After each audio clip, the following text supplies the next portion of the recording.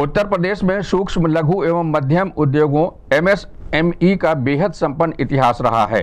हर ज़िले के खाद्य उत्पाद, एक जिला, एक उत्पाद इसका सबूत है।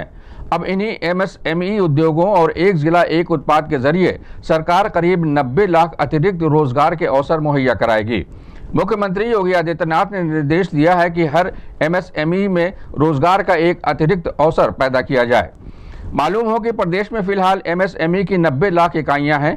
नई लगने वाली इकाइयों के लिए पर्यावरण के साथ सभी तरह के अनापत्तित प्रमाण पत्रों के नियमों को सरल किया जाएगा।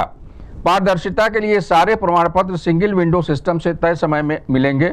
रविवार को अपने निर्देश में मुख्यमंत्री ने कहा कि उत्तर प्रदेश में ये सेक्टर पहले ही की तरह अपने गौरव को प्राप्त करे, ये मेरी प्रतिबद्धता है।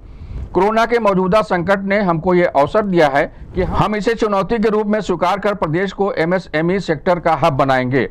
इससे न्यूनतम पूंजी, न्यूनतम जोखिम में स्थानीय स्तर पर लोगों को रोज़गार मिलेगा। साथ ही नए उत्तर प्रदेश का निर्माण भी होगा।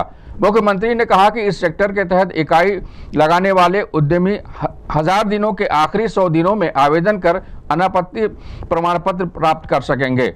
इकाई लगाने वाले हर उद्यमी को आसान शर्तों पर बैंकर्स लोन देंगे। इसके लिए हर ज़िले में 12 से 20 मई तक विशाल लोन मेले आयोजित होंगे। इसके लिए ऑनलाइन आवेदन करना होगा। राज्य स्तरीय बैंकर्स कमेटी की बैठक में बैंकर्स को इस बाबत निर्देश दिए जा चुके हैं। मुख्यमंत्री ने कहा कि अधिक से अधिक उद्यमी प्रदेश में सूक्ष्म, लघु एवं मध्यम उद्योग की इकाइयाँ लगाएँ। इसके लिए अधिकारी संबंधित लोगों को मोटिवेट करें। ये कैसे करना है इसके लिए जितनी जल्दी संभव हो विस्तृत कार्य योजना तैयार करें। मंदी के बावजूद पिछले तीन वर्षों में प्रदेश की प्रति व्यक्ति आय की वृद्धि के इस सेक्टर का महत्वपूर्ण योगदान है। आगे हम इसी के ज़रिए प्रति व्यक्ति आय में और इजाफा करेंगे।